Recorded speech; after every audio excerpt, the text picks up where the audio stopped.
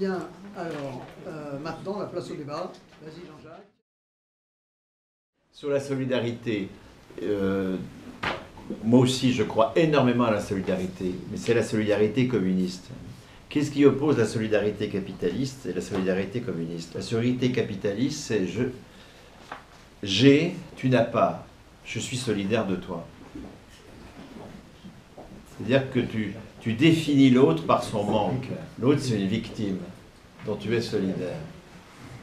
C'est un pauvre dont tu es solidaire. Et euh, où il n'a pas d'emploi, tu es solidaire. Où euh, il est vieux, bah, tu es solidaire, en fait, etc. tu le définis toujours par son manque, ce qui est lui faire une violence énorme.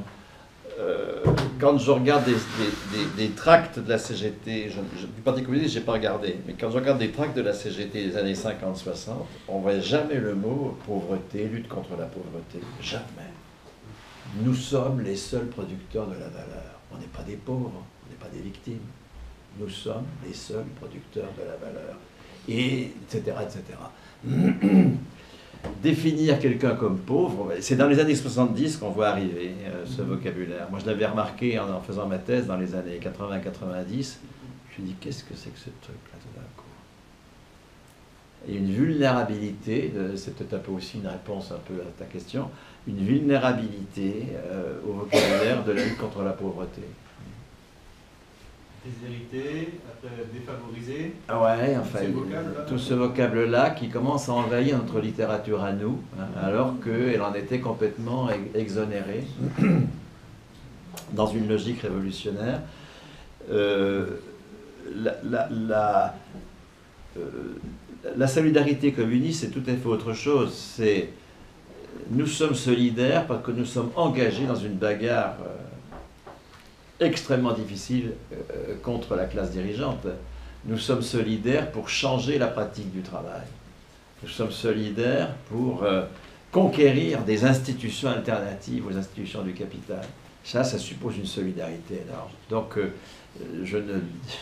loin de moi de disqualifier le mot solidarité. La solidarité, c'est une notion admirable, à condition qu'elle soit communiste et pas, et pas, et pas capitaliste. Euh, là, là j'ai des lapsus euh, un peu trop révélateurs, mais là, là, là, euh, il y a une urgence dans cette affaire-là, un signe, c'est notre, notre solidarité avec les migrants. J'en dis deux, trois choses dans, dans Vaincre Macron, parce que nous avons quand même l'extrême droite aux fesses et et je trouve que notre argumentaire face à l'extrême droite est très pauvre. On fait la morale à des gens parce qu'ils ne sont pas solidaires avec des victimes. Et nous, on est solidaires des victimes. Mais c'est un rempart de papier contre la xénophobie, ça. Nous, euh, les migrants, ce pas des victimes. C'est des gens en général tout à fait remarquables, qui ont eu la force d'aller jusqu'au bout. Ce sont des personnalités exceptionnelles. Quand on les côtoie, quand on, en rencontre, on, mesure euh, leur, caractère exceptionnel. Bon, pas, tous, mais enfin, quand même très massivement. Et euh, qu'est-ce que c'est qu'une solidarité communiste? C'est demander la suppression des visas. S'il n'y a plus de visas, il n'y a plus de morts en Méditerranée, c'est fini. Mais vous voyez que pour demander la suppression des visas, il faut se battre sur ce que c'est que le travail. Si nous laissons entendre, comme nous l'avons fait de façon scandaleuse dans notre dernier euh, document de congrès, où on a repris, c'était encore du Stigler, enfin, qu'est-ce que vous voulez qu'on y fasse? On a repris euh, euh, l'idée qu'il y aurait 47% d'emplois en moins avec la numérisation dans les 20 prochaines années. C'était dans la base commune. Hein. Vous voyez, si, on est sur ces sottises-là, si on admet la définition capitaliste du travail, ben, le travail, c'est un quantum limité. Et il faut se le partager. Il faut travailler moins pour travailler tous. C'est terrible. Parce que dans ce cas-là, les étrangers sont quand même toujours de trop. S'il faut travailler moins pour travailler tous, s'il faut se partager le travail. Ça, c'est la solidarité capitaliste. La solidarité communiste, c'est nous continuons ce qu'ont fait nos anciens. Ils ont étendu le champ de la valeur. Ils ne l'ont pas réduit à la production de valeur pour le capital. Ils ont dit les fonctionnaires produisent de la valeur. Les soignants produisent de la valeur. Et puis ils se sont battus contre le mode capitaliste de productivité qui euh, élimine le travail vivant. Et si on rompt avec ce mode capitaliste de productivité par élimination du travail vivant, mais, mais du travail vivant, il y en a à la pelle. Si nous voulons, je ne sais pas, produire une agriculture euh, dans des conditions euh, écologiquement, anthropologiquement, etc., responsables, il faut infiniment plus de travail vivant que dans l'agrobusiness. Et l'empreinte écologique de cette agriculture-là sera infiniment inférieure à celle de l'agrobusiness. Quand on étend le champ du travail vivant, l'empreinte écologique se réduit d'autant. Donc vous voyez que nous sommes là à la ramasse sur ces questions-là, parce que euh, nous, euh, nous, nous, nous, avons cessé de nous battre pour étendre le champ du travail.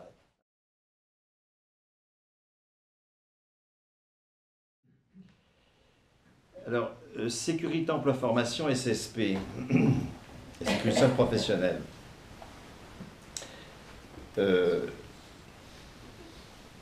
La sécurité sociale professionnelle, je commence par ça.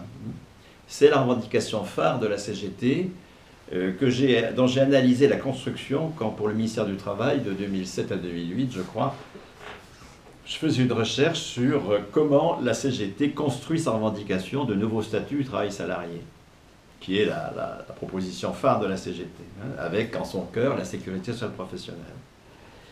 Et euh, avait à l'époque en charge ce dossier euh, Marise Dumas. Et je me souviens, d'un jour où euh, elle organise une réunion dans le patio de Montreuil de, toute une série de militants à l'échelle nationale sur la sécurité sociale professionnelle, hein, qui, vous le rappelez, est la revendication du maintien de 100% du salaire net entre deux emplois à durée indéfinie jusqu'à ce qu'on retrouve un emploi à salaire équivalent. Euh, elle dit cette phrase ceci, hein, la qualification doit passer du poste à la personne. C'est bien ça. C'est comme quand quelqu'un prend sa retraite, la qualification n'est plus celle de son poste, c'est la sienne. Eh bien, pour un chômeur, il s'agit que la qualification passe du poste à la personne. C'est la personne qui est le support de la qualification. Ben, je lui dis, ben, ah, je vais la trouver à la sortie, je lui dis, ben donc, donc tu revendiques le salaire à vie. Il me dit, tu as raison, c'est bien du salaire à vie, mais on ne peut pas le dire les salariés ne comprendraient pas. Donc la première différence entre salaire à vie et SSP, euh, c'est que le salaire à vie ne pratique pas l'autocensure par lequel nous supposons que les salariés sont des cons. Ah oui. Alors ensuite, ensuite il y a euh, avec la, sécurité sociale professionnelle euh, quelque chose qui effectivement est très supérieur. Non, la sécurité sociale professionnelle, quand vous regardez le tract de la CGT, elle est souvent confondue avec la sécurisation des parcours professionnels. Vous pouvez avoir les mêmes mots, ces deux expressions. Or, la sécurisation des parcours professionnels, c'est le projet de la CFDT. C'est un projet antagoniste. La sécurisation des parcours professionnels, c'est le fait que, à la mesure de la performance sur le marché du travail, on ait des comptes. Des comptes, euh, formation, etc., etc. Et qu'on ait droit à un service public de l'emploi performant, qui va améliorer l'employabilité. mais, ou et, Donc là, nous sommes dans le second pilier. hein. La sécurité professionnelle, c'est le second pilier. L'incertitude liée au fait qu'il n'y a plus que des contrats de mission, des contrats de projet, du salaire à la tâche, est compensée par le fait qu'on acquiert des droits dans des comptes. Ça, c'est la sécurité sociale professionnelle. Avec la disqualification du salaire entre deux emplois. Ça, c'est de la dépense passive. Il faut activer les dépenses de chômage. Vous le dit la CFDT, ou le MEDEF, euh, ce qui est un peu pareil. Et euh, cette activation des dépenses de chômage, cette activation des dépenses de chômage euh, fait que euh, ce qui est décisif dans le service public de l'emploi, ce n'est pas le maintien du salaire, c'est l'amélioration de l'employabilité. C'est l'amélioration de l'employabilité parce qu'à l'origine du chômage, il y a une absence de formation. Parce qu'à l'origine du chômage, il y a des gens qui sont un peu beubeux.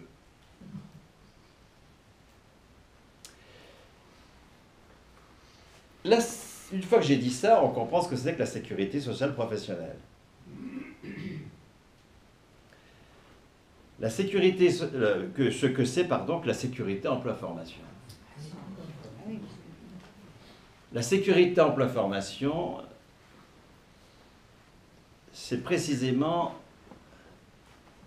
une version communiste de, enfin communiste, je récuserai ce terme, enfin portée par le Parti communiste, de euh, la de la sécurisation des parcours professionnels. Il n'y a pas de droit au salaire pour les chômeurs, contrairement à ce que dit la CGT. Les chômeurs, ils ont droit à la formation. Et ils ne maintiennent leur salaire que s'ils sont formés. Les autres, ils ont droit au minimum. Parce que le parti continue à préconiser l'existence d'un minimum social. Vous voyez que le salaire à vie suppose qu'il n'y a plus de minimums sociaux. C'est fini. Nous sommes tous dans un statut commun vis-à-vis du travail.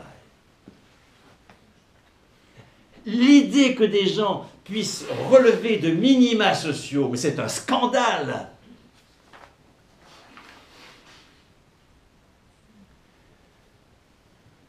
La sécurité emploi-formation, elle a tout faux. C'est de la sécurité. Alors que l'enjeu, c'est pas que nous ayons des ressources sûres. L'enjeu, c'est que nous ayons des ressources qui nous permettent de diriger l'économie. Le salaire à vie, c'est pour qu'on puisse la ramener. Si, si votre salaire dépend de votre entreprise, si votre salaire dépend de votre poste, il y aura toujours un moment de chantage qui fait que vous fermerez votre gueule. Toujours. Le salaire à vie, c'est la condition de la démocratie économique. Donc ce n'est pas de la sécurité, c'est pas de l'emploi. Parce que l'emploi, ça veut dire que c'est le poste qui est le support de la qualification. Alors que tout l'enjeu du mouvement ouvrier, une fois qu'il a conquis ça, et l'emploi est une conquête, on, on le voit bien avec Hubert. Là, je vous renvoie au remarquable bouquin de Claude Didry. Faites-le venir aussi, Claude Didry, D-I-D-R-Y.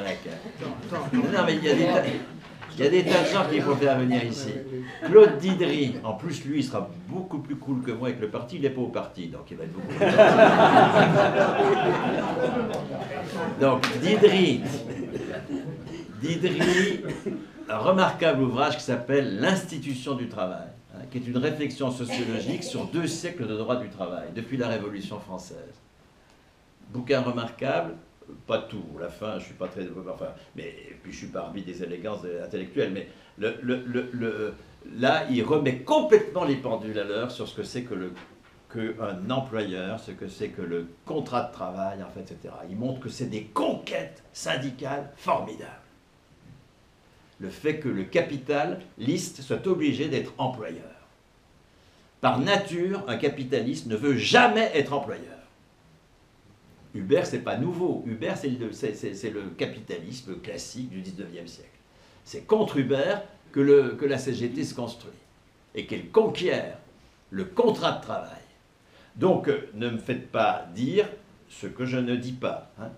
Je sais combien l'emploi est une conquête. Mais en même temps, aujourd'hui, l'emploi ne peut plus être l'horizon de notre euh, pratique politique.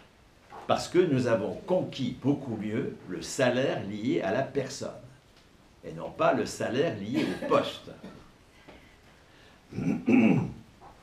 Donc, euh, euh, formation, troisième truc fausse. L'origine du chômage, c'est pas que les gens sont des bebeux.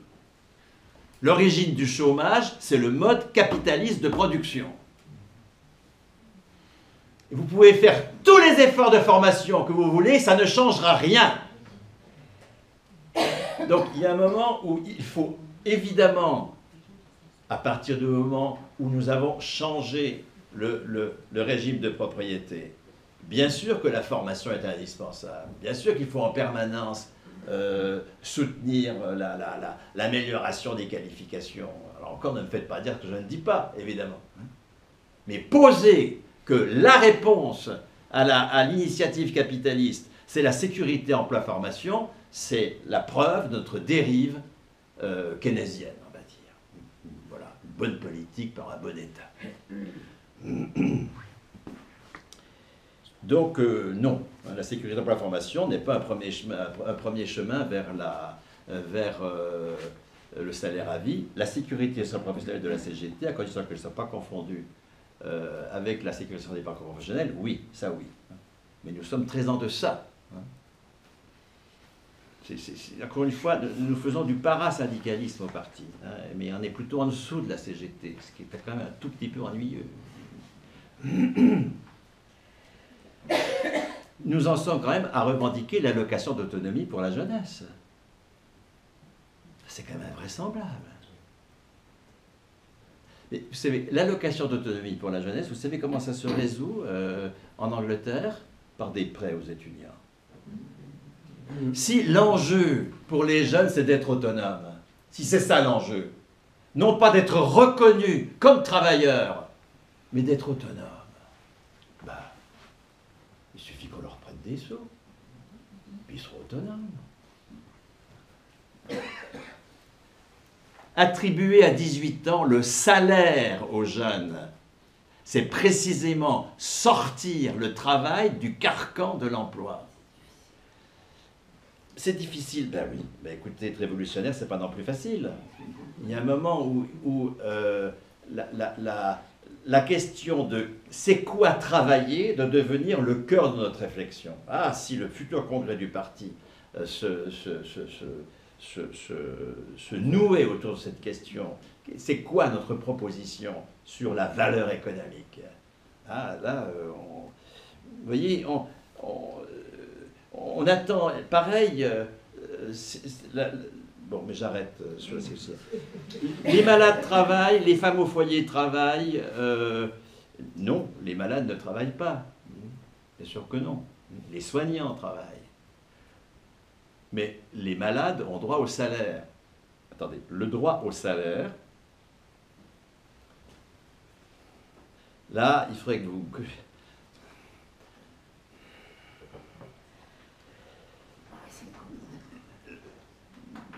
J'ai exposé ça dans le séminaire euh, hier à la Bourse du Travail, euh, le séminaire de réseau salarial à la Bourse du Travail qui se tient tous les premiers lundis du mois à 18h.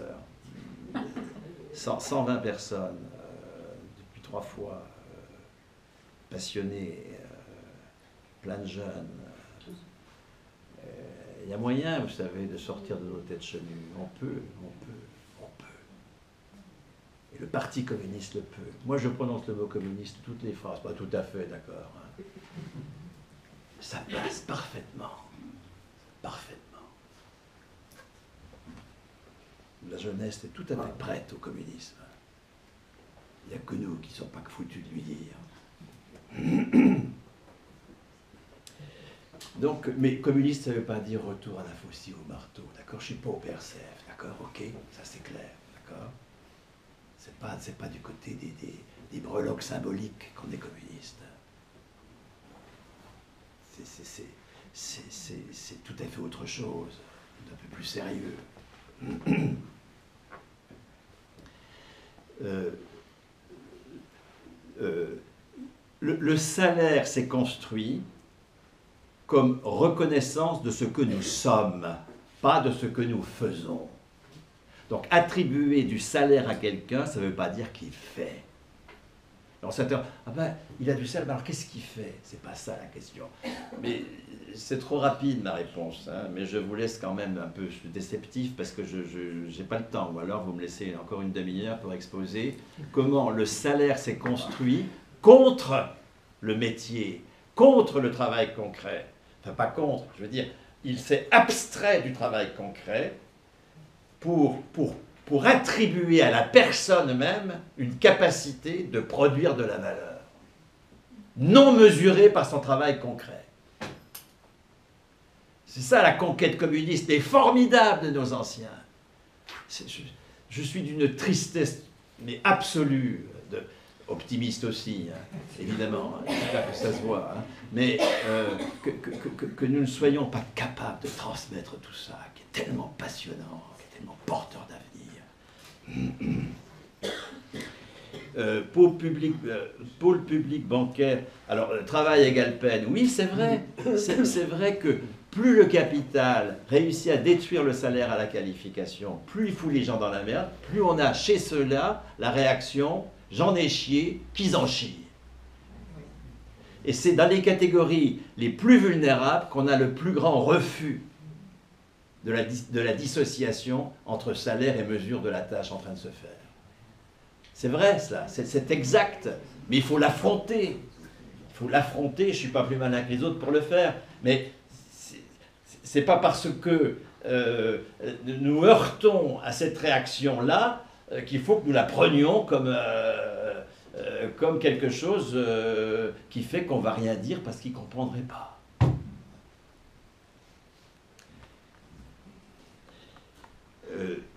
Pôle public bancaire et caisse d'investissement, impôts et cotisations. Alors, je suis tout à fait d'accord sur le fait que le pôle public bancaire attend son, son salut, je dirais, plus du crédit que de l'impôt. Hein.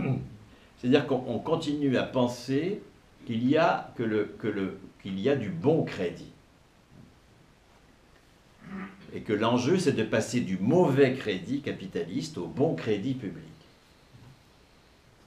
Ça, c'est une faute d'analyse et une faute stratégique. La, la, euh, je sais pas quoi, moi, la, BCE ne prête pas directement aux États, ok, mais la Banque d'Angleterre prête directement à l'État anglais, ça ne change rien au Spielblick.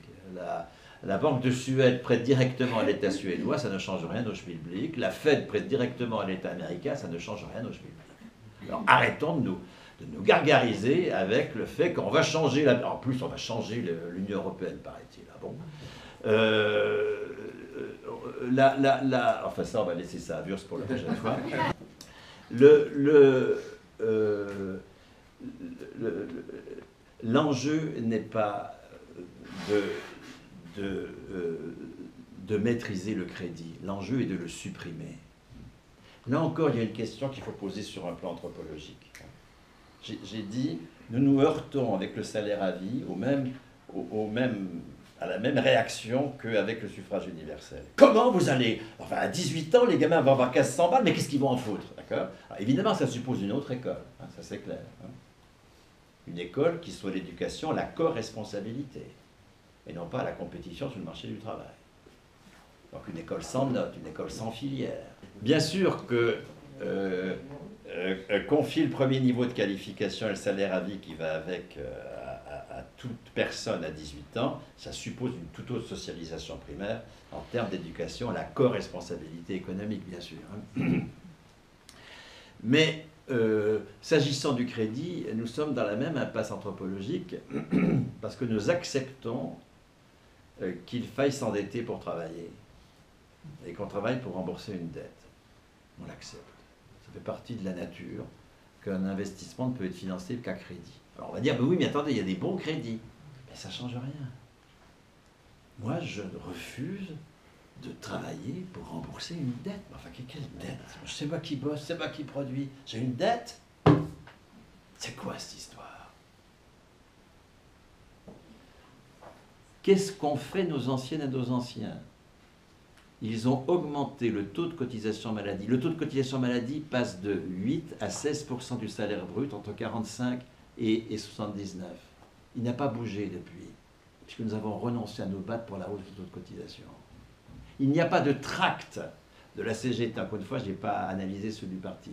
Il n'y a pas de tract de la CGT des années 50-60 qui ne disent hausse du taux de cotisation, hausse du salaire brut pour que la hausse de cotisation n'ait pas d'incidence sur le salaire net. Pas un seul tract qui ne dit cela. Une bataille, mais comme des chiens, pendant 20 ans, pendant 30 ans, je sais plus exactement, pour la hausse du taux de cotisation. Ça a permis de nous approprier une part suffisante de la valeur pour l'affecter à la subvention de l'investissement hospitalier. Et donc à la propriété patrimoniale non lucrative. Nous avons sorti la production de soins de la logique capitaliste. Eh bien, c'est ce que nous avons à faire, d'accord? Et vous voyez la bataille politique à mener auprès des travailleurs. C'est pas légitime que vous remboursiez une dette. Et la proposition qui en découle, ça c'est le chapitre 3 de bouquin, la proposition qui en découle, c'est nous allons augmenter massivement le taux de cotisation, massivement, une partie servira à subventionner l'investissement, pas uniquement donc pour le salaire à vie, et il n'y aura pas de coûts supplémentaires pour les entreprises parce que la supplément de cotisation sera compensé par le non-remboursement de leurs dettes. Elles ne rembourseront pas leurs dettes. On ne va pas taxer le capital. Taxer le capital, c'est le justifier. On va l'assécher. C'est tout à fait autre chose. Vous voyez la bataille politique qu'il faut mener. Il ne s'agit pas de distribuer un tract, c'est tous des salauds, on a bien du mal. Ça, c'est un tract qui sert à rien, qui est plutôt contre-productif, qui alimente la morosité collective. Il s'agit de distribuer des tracts qui soient exclusivement propositionnels. Exclusivement propositionnels. Pas un gramme de dénonciation. Pas un gramme de plainte. Et dans lequel nous exposons comment nous allons euh, euh, remplacer le crédit par de la subvention. Oui, alors bien sûr, évidemment que l'accès à l'emploi a été une conquête pour ceux d'entre nous qui ont l'âge de l'avoir vu, et on est assez nombreux. Euh, euh, lorsque apparaît la NPE en 67, il y a une bataille pour faire inscrire les femmes à la NPE. Il y a une bataille énorme. Euh, contre euh, toute euh, une, une, propagande disant comment des mauvaises mères vont abandonner leurs gamins pour aller sur le marché du travail, etc. Donc évidemment que cette bataille a été extrêmement progressiste.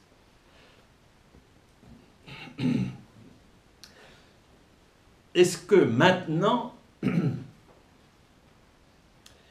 on peut faire l'éloge du marché du travail Non. Le marché du travail n'est absolument pas sauvable l'enjeu euh, d'une bataille pour le travail, ce n'est pas que le travail soit identifié à l'emploi. la matrice du travail, ça ne peut pas être l'emploi. Euh, et c'est aussi d'ailleurs une question euh, vis-à-vis des intermittents. Peut régler les deux choses en même temps, parce que c'est un peu la même chose. Hein. Quand les intermittents disent, mais entre deux cachets, nous travaillons, la CFDT répond, mais aussi parfois le SFA, parfois un certain nombre de gens à la CGT. Enfin, si vous travaillez entre deux emplois, revendiquez de l'emploi à temps plein. Quel est l'enjeu de ne pas revendiquer de l'emploi à temps plein, mais du salaire à temps plein? Et le salaire à temps plein, c'est pas que j'ai cotisé, j'ai droit précisément.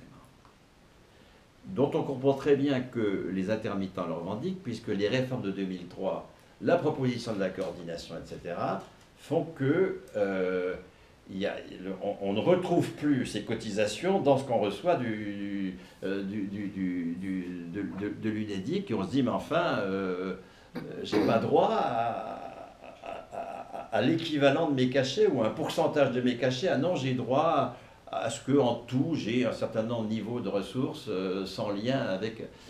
Alors, évidemment, cette réforme-là, qui est très négative, euh, entretient cette idée de la logique du j'ai cotisé, j'ai droit. Mais l'enjeu pour euh, les artistes, c'est qu'ils arrêtent de croire à l'ineffabilité de l'art et qu'ils acceptent d'être qualifiés, qu'ils acceptent de passer par des épreuves de qualification, comme tout le monde. Et que passant par des épreuves de qualification, ils ont un salaire lié à leur personne. Non pas un emploi, un salaire lié à leur personne. Et euh, ça ne veut pas dire, enfin si, tu as raison quand tu, tu dis, euh, enfin plutôt, plutôt, je vais te donner raison en disant que le salaire à vie, s'il n'y a pas bataille contre la domination masculine, peut confiner les femmes au, foyer. C'est un salaire à la qualification, c'est pas du tout un salaire lié au fait que c'est pas un salaire maternel ou je sais pas quoi, lié au fait qu'elles font ceci ou cela. hein. Elles ont conquis une qualification ailleurs. hein. Les parents, c'est ça plutôt qu'il faut dire, hein. les parents ont une qualification, ils transportent leur salaire avec eux, et donc ils ont une beaucoup plus grande souplesse dans l'arbitrage des temps sociaux, comme on dit. Et si, euh, parce que moi je, lis des travaux de, spécialistes qui alarment quand même sur le fait que la, présence des parents est très insuffisante chez les gamins de moins de 6 ans, très insuffisante auprès des ados, Bon, entre 6 ans et 12 ans, ça on s'en fout un peu, c'est moins décisif, mais euh, parce que en gros ils sont à peu près, euh, ça va, ils, ils se débrouillent. Euh, la- la- la, euh, que des parents, mais à condition que le- la, la bataille contre la domination masculine fasse que ce soit les parents, hein, pas la mère. Et ça, c'est pas gagné du tout. Mais ça- la lutte anti- anticapitaliste, elle ne résout pas tout. hein. La lutte anticapitaliste, elle ne résout pas la domination masculine. Que euh, les parents euh, se mettent à mi-temps euh, dans certaines périodes d'âge de leurs enfants, euh, ça c'est ce que le salaire à vie rend possible. Ils ne sont pas pénalisés, ils ont- un salaire lié à leur personne. Euh, ça vaut aussi d'ailleurs pour le temps militant, pour des tas de choses, hein, ça ne vaut pas que pour les parents. Mais encore une fois, l'enjeu de l'intermittence du spectacle, pour en finir avec ce truc quand même où les gens sont en train de calculer, surtout quand c'était dit, moi même le retour au douze, moi je ne change pas grand-chose, de calculer ça 107 heures, depuis que les collectivités publiques n'ont plus un rond pour la culture, ça devient, ça devient un boulot de chien, etc. L'enjeu, c'est pas l'emploi à temps plein. L'enjeu, c'est le salaire plein, qui permette euh, une maîtrise sur le travail. Euh,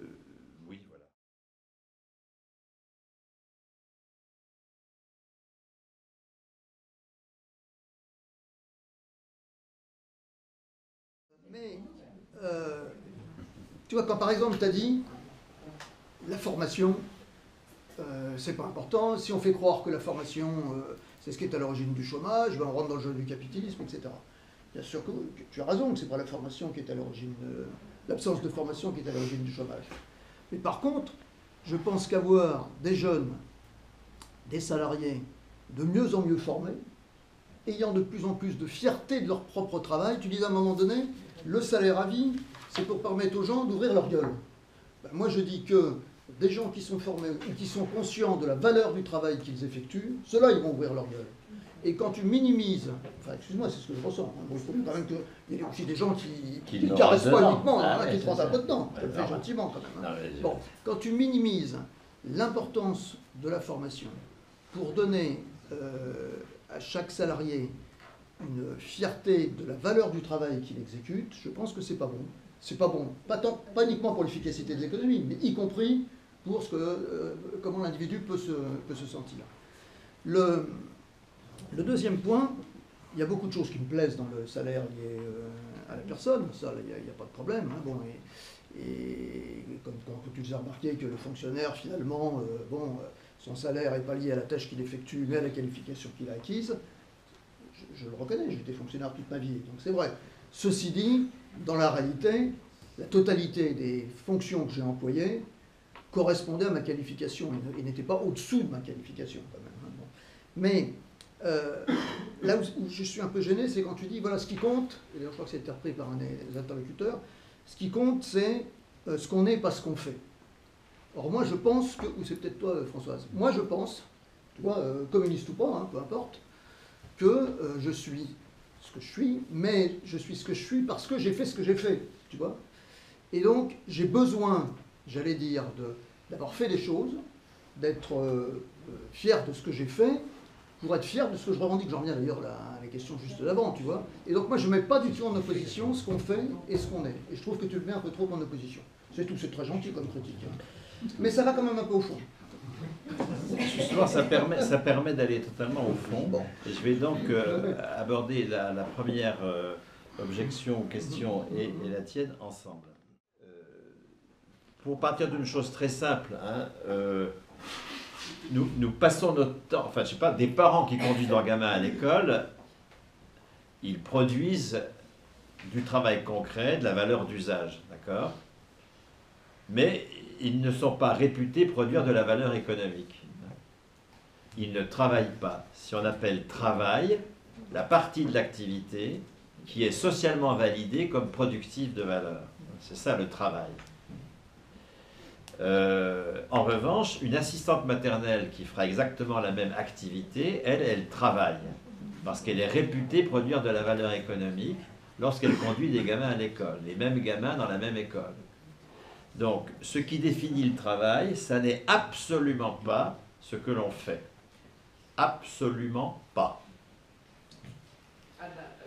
Quelqu'un qui dit, quelqu'un qui dit, je ne travaille plus, ça ne veut pas dire qu'il fait rien. Quelqu'un qui dit je cherche du travail, ça ne veut pas dire qu'il fait rien. Il faut arrêter, c'est clair, d'accord? Donc euh, le travail, c'est tout à fait autre chose que l'activité. C'est quoi le travail? Mais vous comprenez notre difficulté de penser tout ça, c'est que la classe dirigeante, elle se réserve le monopole de la valeur. C'est elle qui a le monopole de la définition du travail, de la pratique du travail, de la production, et donc en permanence, elle nous enferme dans des réflexions sur le travail concret. Nous ne sommes pas du tout habitués à réfléchir en termes de valeur. Et évidemment, quand j'ai dit le salaire nous paye pas pour ce que nous faisons, mais pour ce que nous sommes,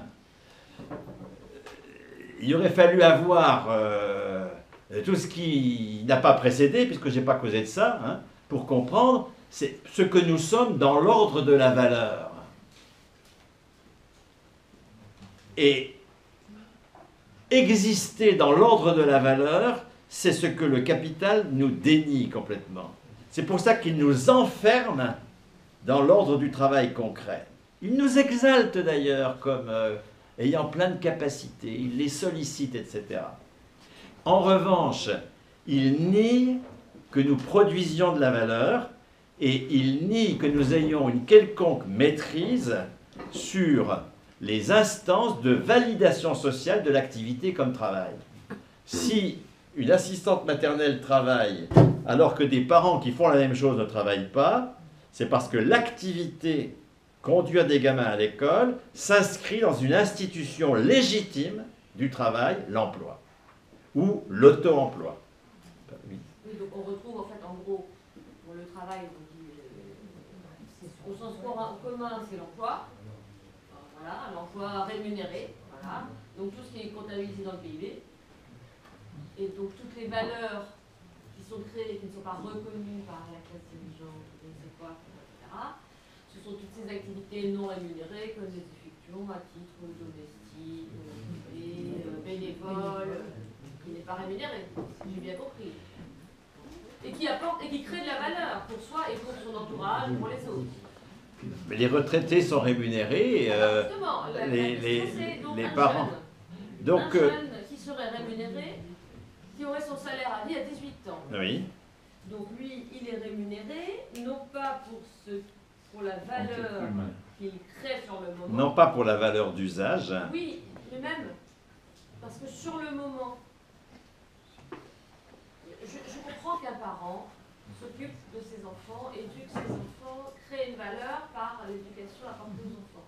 Mais le jeune, qui lui est euh, ben voilà, en attente d'un emploi, ou peu importe, qui a terminé ses études, quelle est la valeur qu'il apporte? Non, c'est une question que je pose. Hein, je... D'accord, c'est donc c'est en formation, voilà. Donc c'est la valeur qu'il euh, pourra apporter finalement. Alors là. Enfin, merci de poser cette question-là parce que ça me permet de vous suggérer un autre intervenant euh, dans la soirée qui, qui aborde très exactement la question est-ce que les étudiants produisent de la valeur? C'est un bouquin qui est sorti la semaine dernière à la dispute par Aurélien Casta. Je te le note. quand C'est même. à Il STA. vérifie si je note. Oui, oui, bah oui je vérifie. oui. Pour Aurélien Casta et qui s'appelle Un salaire étudiant et qui justement pose la question du rapport à la valeur des étudiants. D'accord? Le rapport à la valeur, c'est pas le rapport au travail concret. C'est pas parce que je fais un travail concret que j'ai un rapport à la valeur. C'est pas parce que je n'en fais pas que je n'ai pas de rapport à la valeur. C'est ça qu'il faut. Il y, a, il y a deux ordres de réalité. Alors, qui se superposent bien sûr. Si nous voulons monter en qualification, les épreuves de qualification, elles vont examiner ce que nous avons fait, bien sûr. Elles vont examiner ce que nous avons fait dans l'ordre du travail concret. Et, mais une fois que nous serons montés en qualification, je ne parle pas au futur, c'est ce que c'est le cas des fonctionnaires. Une fois que nous sommes montés en qualification, nous sommes payés pour ce que nous sommes dans l'ordre de la valeur. Et nous le sommes à vie. Un fonctionnaire ne perd pas son salaire. S'il continue à travailler. hein. Mais non, jusqu'à sa mort. Non, attends, j'ai été fonctionnaire. Si j'arrête de travailler à 40 ans et que je décide à 40 ans d'arrêter de travailler, je serai plus payé. Mais bien sûr, mais bien sûr, mais évidemment, et évidemment, et c'est ça qu'il faut dépasser. C'est pour ça que la fonction publique, c'est un début. La fonction publique, c'est un début. Je, je, je fais réfléchir à partir de l'existant. Mais cet existant, il n'est pas entièrement abouti. Et euh, il est clair qu'un salaire à vie ne pourra pas être mis en cause euh, par une appréciation négative sur ce que nous faisons. Il pourra stagner, ne plus être, euh, augmenté, mais pas diminué, de mon point de vue. Sinon, ce n'est pas un acquis de la personne. Mais s'agissant de, euh, la, la- la- de ce que vont faire les personnes avec un salaire à vie, c'est inséparable d'un droit que je pourrais vous exposer quand vous m'inviterez, moi, une prochaine fois, C'est le droit à la propriété d'usage de l'outil. Écoutez, notre rapport au travail, il est complètement peu serein, on va dire, c'est un euphémisme, Il est souffrant, parce que nous ne maîtrisons, nous n'avons pas la propriété d'usage de l'outil. À partir du moment où nous aurons la propriété d'usage de l'outil, ce qui suppose un très gros travail politique parce que les travailleurs pensent qu'ils ne sont pas dignes d'être propriétaires de l'outil. Nous nous heurtons au fait que l'école a construit l'indignité des personnes. Parce qu'en dehors de ceux qui ont eu 9-10 toute leur vie comme moi, les autres, c'est quand même des gens dont on a construit l'indignité. Ils ont eu 6, 5, 4, 2, 8. Ils ne sont pas dignes, ces gens-là. Il faut en permanence qu'ils fassent la preuve de leur dignité. C'est pour ça qu'il faut supprimer les notes si nous voulons construire un salaire à vie qui a un sens. Supprimer les filières euh, pour obliger, pour qu'il y ait une obligation de résultat des enseignants. Tant qu'il y a des filières, il n'y a aucune obligation de résultat pour les enseignants. Donc on est dans une euh, dans une euh, euh, euh, dans, une situation où euh, évidemment, les conditions ne sont pas remplies pour que ce soit euh, immédiatement mis en œuvre. Encore une fois, je donne une boussole à partir de quoi nous pouvons construire un programme communiste qui évidemment n'a pas comme ambition de passer tout de suite à tout ça, mais, mais qui le fait. C'est-à-dire, je donne un exemple, parce que je me suis trouvé euh, au festival de la, Belle Rouge euh, chez donc, euh, puisque c'est André Chassène qui a, qui a accueilli Joli Môme dans ce festival à fin juillet chaque année. Et il était là dans le débat. Il y avait un débat avec Judith Bernard, parce que Judith Bernard a fait une pièce à partir d'un de mes textes, à partir d'Émanciper le travail. Bon, la pièce s'appelle La Margie. Euh, c'est aussi bien quand des travaux de chercheurs peuvent devenir objets objet d'art, c'est magnifique. Ça, j'ai eu beaucoup de chance. J'ai plein de chance dans ma vie. Ça, c'est sûr. D'abord être communiste, c'est une très grande chance. Euh, la, la, la euh, et communiste au parti communiste, c'est une très grande chance. Pas communiste. Ah ben moi je suis communiste, je suis pas au parti, mais je suis communiste. Non, ben non vous êtes au parti, il ne faut pas rigoler. Et donc, euh, la, la, euh, je, suis dans ce débat, 500 personnes dans le chapiteau. Chassaigne est là. Chassaigne intervient à la fin. Il a été extrêmement fair-play. Il intervient à la fin en disant D'accord, oui, je comprends bien, Bernard, quand tu dis qu'il faut supprimer le crédit. Mais moi, moi j'ai des responsabilités. Il y a des PME qui demandent du crédit, ils n'en trouvent pas auprès des banques quand je propose avec mon parti euh, qu'on va bonifier le taux d'intérêt avec de l'argent régional, euh, vous connaissez le truc, hein, enfin ceux des communistes qui ont lu leur programme, il y a peut-être quelques-uns quand même, savent que nous préconisons euh, une bonification du taux d'intérêt. donc les banques ont leur taux d'intérêt complet, mais de l'argent public se substitue à la PME pour payer les taux d'intérêt. C'est-à-dire qu'on en Bon, c'est un truc scandaleux. Nous encourageons le taux d'intérêt des banques avec de l'argent public.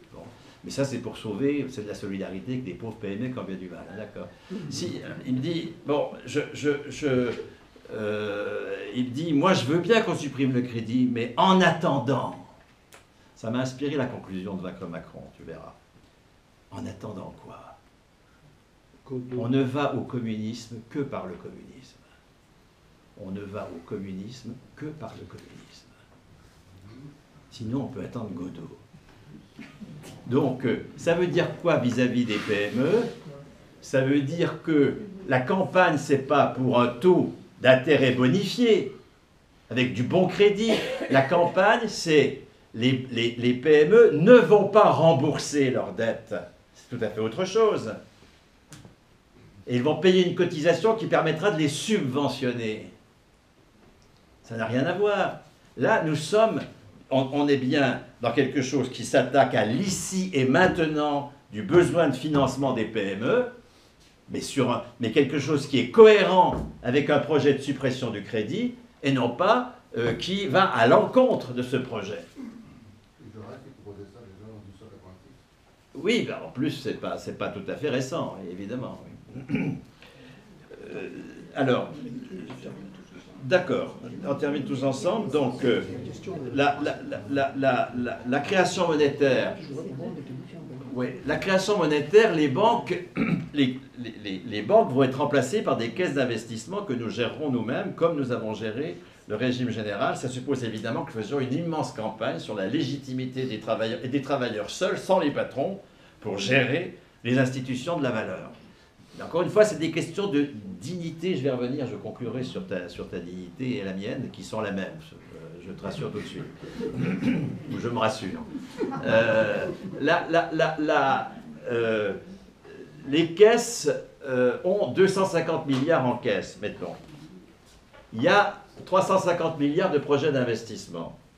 50 sont retoqués pour des raisons écologiques, etc. Peu importe. Bien il reste 300, milliards à financer, alors qu'avec 350 milliards en caisse, ben, évidemment qu'on subventionne 300 milliards, donc on crée 50 milliards de monnaie. on la crée par subvention, pas par crédit. Et c'est exactement la même chose que si on avait fait du crédit.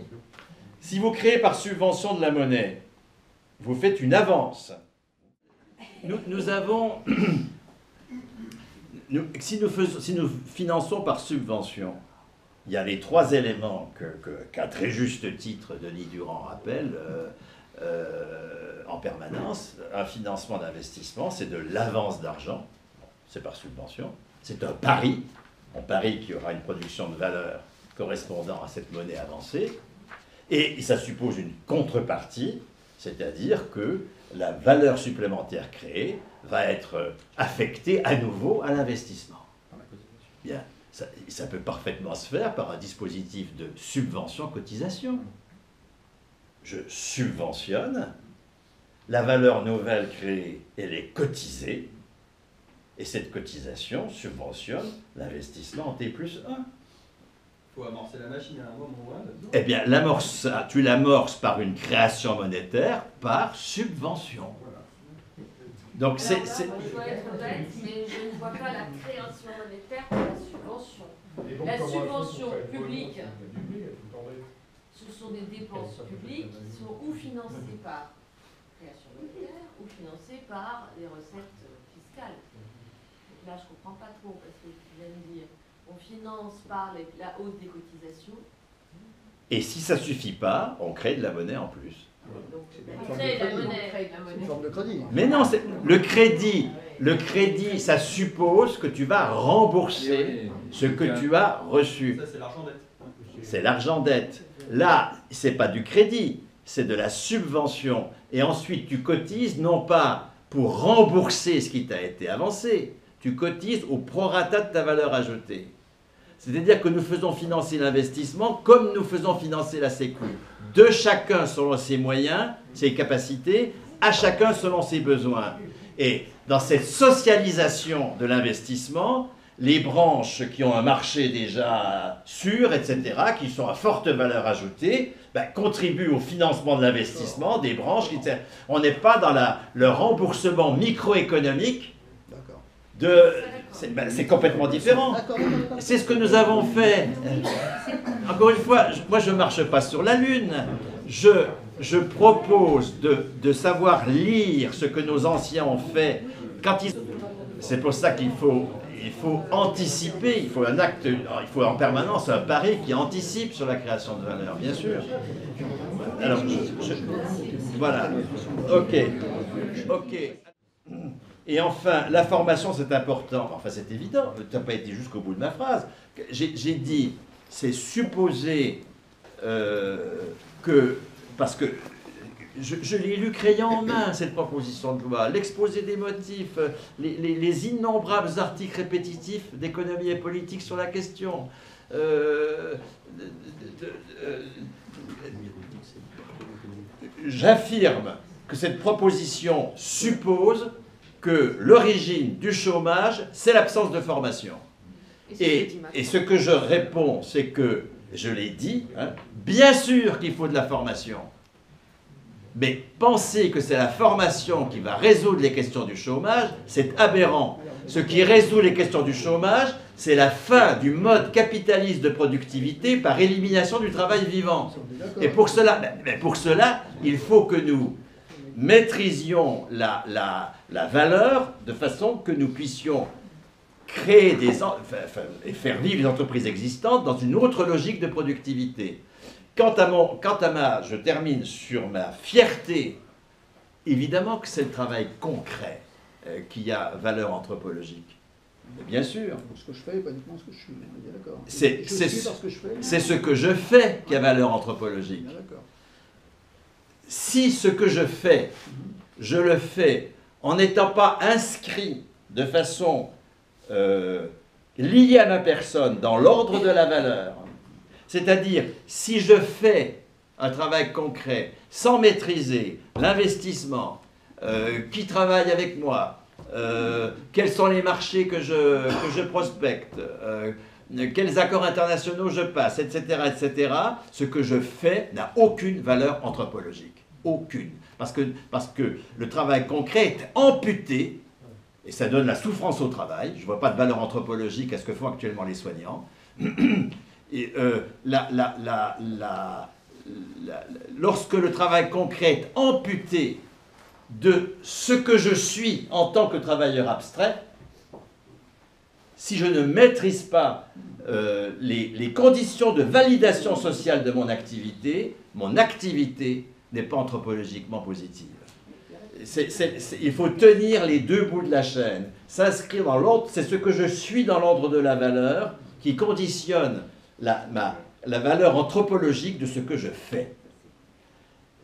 Et donc, moi, je suis payé pour ce que je suis. Et c'est parce que je suis payé pour ce que je suis que je maîtrise ce que je fais. Si on veut une phrase euh, synthétique Ça, c'est une belle fin. finale. Alors,